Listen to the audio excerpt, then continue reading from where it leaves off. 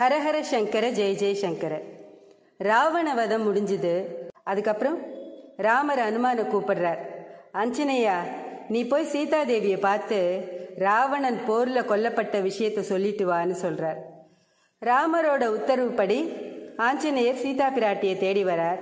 சீதை கிட்ட ராவணன் போர்ல இறந்த விஷயத்தையும் ராமரோட க்ஷேமத்தை பத்தியும் சொன்ன ஹனுமான் சீதா பிராட்டி கிட்ட ஒரு வேண்டுகோளை வைக்கிறார். நீங்க உத்தரவு கொடுத்தா உங்களை மிரட்டின இந்த அரக்கிகள் எல்லாரையும் இப்பவே கொன்னுடுறேன்னு சொல்லுவார்.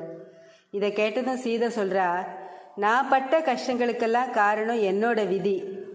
ராவணனோட கட்டளைக்கு இணங்க இந்த அரக்கிகள் என்னை மிரட்டினா. அவனே இப்போ இல்லை. அதனால இனிமை வாழ என்னை மிரட்ட மாட்டா.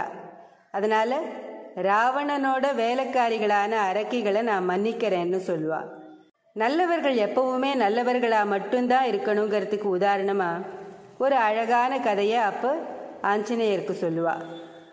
ஒரு புலி வேடனை துரத்தித்து புலிக்கு பயந்து ஓடின அந்த வேடன் பக்கத்தில் இருந்த ஒரு மரத்து மேலே ஏறினான் அந்த மரத்து மேலே ஒரு கரடி உட்கார்ந்துட்டு இருந்தது பயந்து போன வேடன் அந்த கரடி கிட்ட என்னை ஒரு புலி துரத்தித்து பயந்து போய் தான் இந்த மரத்து மேலே ஏறினேன்.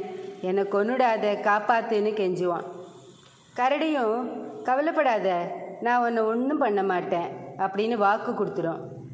அப்போது மரத்துக்கு கீழே இருந்த புலி கரடி வேடனை கீழே தள்ளுன்னு சொல்லும். ஆனால் கரடி மாட்டேன் என்னை நம்பி வந்திருக்கான் அவனை தள்ள மாட்டேன்னு சொல்லிட்டு தூங்கிடும்.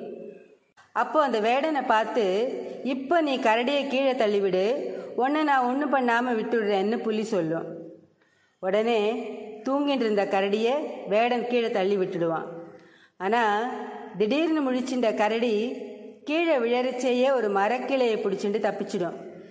இப்போ புலி கரடி உன்னை தள்ளின வேடனை நீ கீழே தள்ளிவிடுன்னு சொல்லும்.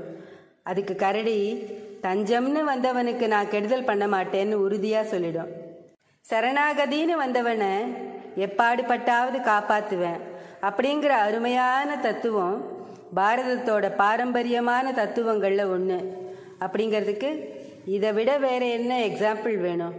இந்த சரணாகதி தத்துவத்தின் படிதான் விபீஷணனை ராமன் அங்கீகரித்தார். அப்படிங்கிறது தான் நம்ம ராமாயணம். இந்த கதை சீதா பிராட்டி ஆஞ்சநேய சுவாமிக்கு மட்டும் சொல்லலை நமக்காகவும் சொல்லியிருக்கா. எந்த சூழ்நிலையிலையும் நாம் நம்ம நல்ல குணத்தை கடைப்பிடிச்சா தர்ம தேவதை நமக்கு பக்க துணையாக இருந்து எல்லா நல்லதையும் நமக்கு செய்வா. ஸ்ரீ மகாபெரிவா திருவடிகளே சரணம். ஹரஹர சங்கர ஜெய ஜெய சங்கர. காஞ்சி சங்கர காமகோட்டி சங்கர.